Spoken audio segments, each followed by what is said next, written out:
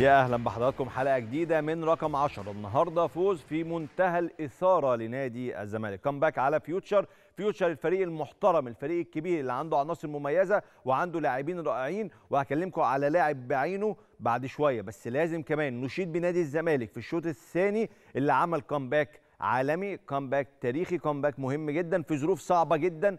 في ظروف فيها تغيير للمدير الفني. في ظروف المفروض الزمالك النهارده قدام فيوتشر الفريق الكبير ده ما كانش ياخد الثلاث نقاط مع الظروف دي لكن الزمالك بروح لاعبين النهارده تحديدا في الشوط الثاني قدر ياخد ثلاث نقاط غاليين جدا في مشواره في الدوري الممتاز قدام فريق في منتهى الصعوبة.